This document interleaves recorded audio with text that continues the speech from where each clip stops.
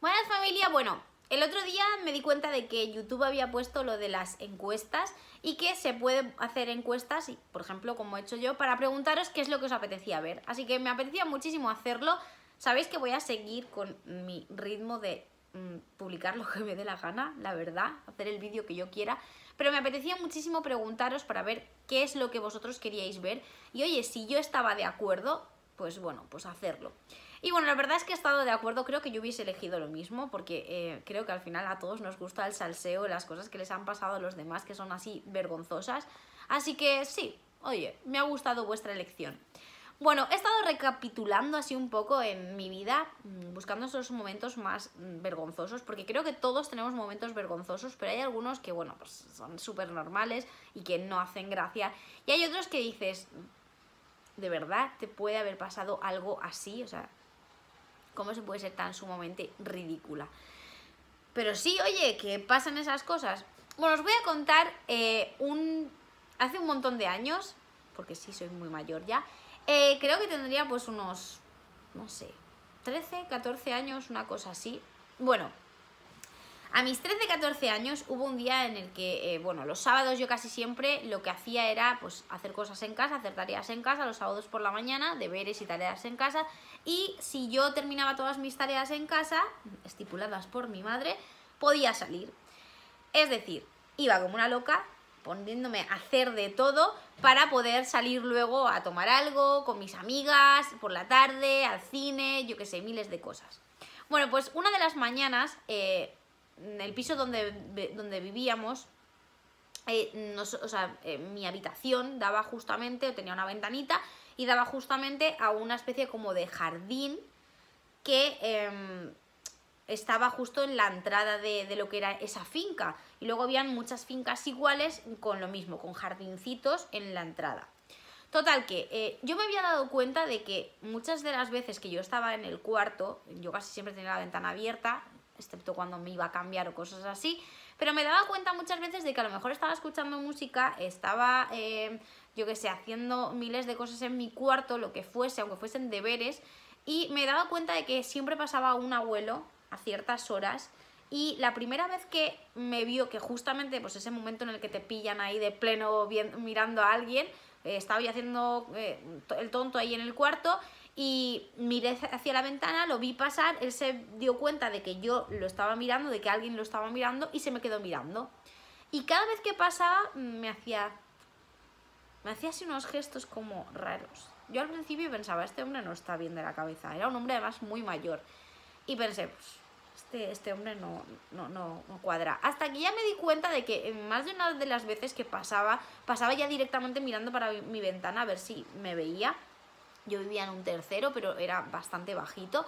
Y eh, siempre hacía algún gesto, en plan, eh, te guiño el ojo, en plan, eh, me tocó la boca, te hago, no, o sea, hacía así como en el pecho, no sé, unas cosas muy raras, que yo llegó un momento que dije, joder, qué puto asco el abuelo este pervertido. Pero bueno, pensaba que era algo pasajero y ya está.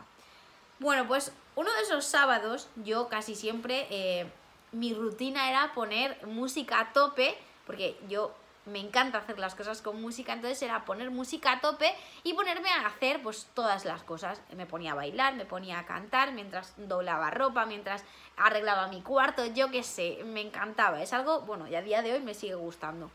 Bueno, pues uno de esos sábados yo con mi pijama un puesto, doblando ropa en mi cuarto, bailando y cantando como una loca, hubo un momento que de repente, eh, al hacer así, cogí, no sé si fue una camiseta, un pantalón, no me acuerdo lo que fue, pero con tan mala suerte de que se había quedado una de mis bragas, sí, yo en ese momento llevaba braguitas, no, no, conocía los tangas, em, me acuerdo que cuando me puse el primero fue como de, esta mierda decís todo es que es cómoda, yo esto no lo quiero y ahora a día de hoy no llevo otra cosa.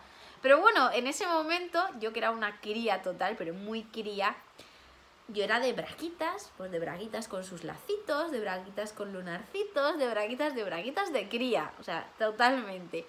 Pues en una de estas, eh, ya os digo, con un pantalón, una camiseta, no recuerdo exactamente muy bien lo que fue, pues hice así, en plan para cogerlo, para estirarlo y empezar a doblarlo, y vi como una de mis bragas, braguitas, monas, con lacitos, Dios, qué vergüenza, salió despedida con tan mala suerte que salió por la ventana.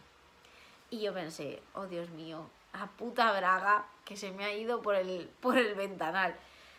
Me fui a asomar y conforme me asomé, la vi como se había quedado, o sea, claro, todo eran como eh, una especie de jardincito a la entrada. Había algún que otro árbol, pero muy pocos. Tuve la gran suerte de que la verdad es que la braga voló por encima de uno de los arbolitos que había y se quedó en el arbusto que había eh, cerrando el jardincito, unos arbustitos que habían ahí. Total que pensé, joder, voy a bajar corriendo porque, a ver, cualquiera que pase ve ahí mis bragas, o sea, qué, vergüenza, ¿no? Total que yo, mm, muerta de la vergüenza, me acuerdo que me puse una bata encima del pijama y bajé corriendo a, a, recoger mi braga, que estaba ahí sola y abandonada con sus lacitos tan mona ella. Cuando fui a salir del patio, de repente encontré al abuelo que se acababa de parar enfrente de mi braga. El abuelo de siempre, de eh, gestitos, morritos, eh, tocarse así, mirarte, sacarte la lengua, guiñarte un ojo. ¡Oh, Dios, qué asco! Yo conforme lo vi fue de... no salgo.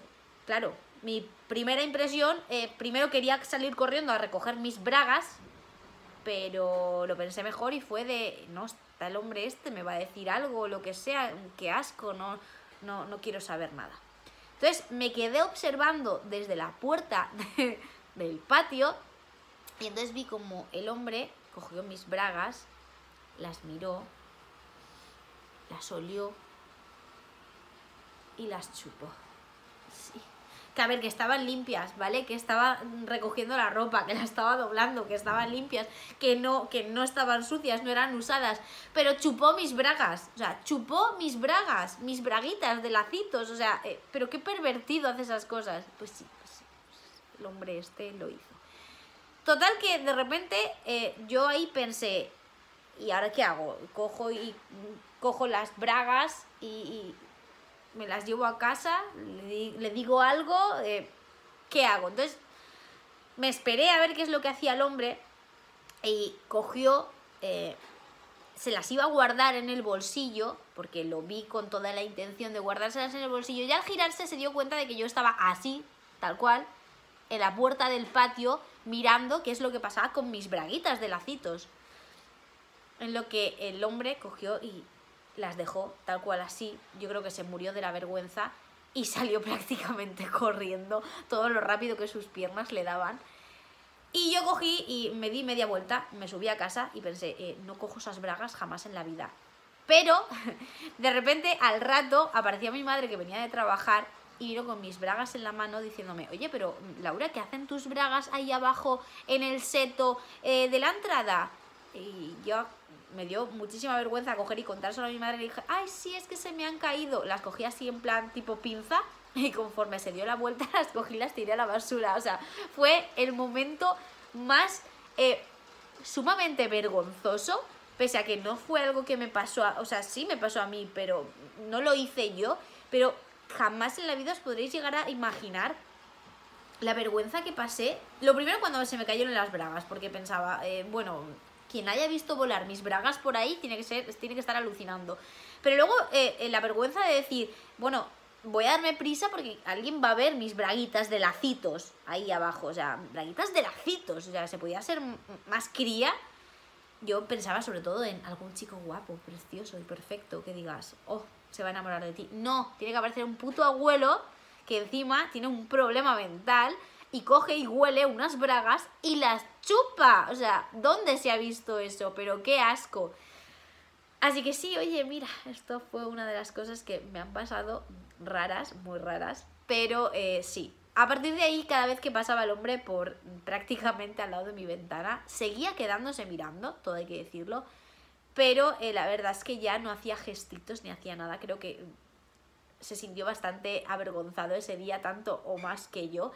Y a partir de ahí creo que, mm, dentro de lo que cabe, eh, me di cuenta de que eh, hiciese calor o no, lo mejor era cerrar la ventana cada vez que me ponía a hacer el imbécil en el cuarto. Pero bueno, nada, ha sido una anécdota que a día de hoy pues me río muchísimo pensando en ella. En su momento me quise morir, pero son cosas que pasan. Y nada, espero que os haya gustado, si os ha parecido interesante o divertida o rara, muy rara. Espero que le deis al like si no os ha gustado, que le deis a los leones, que no pasa nada.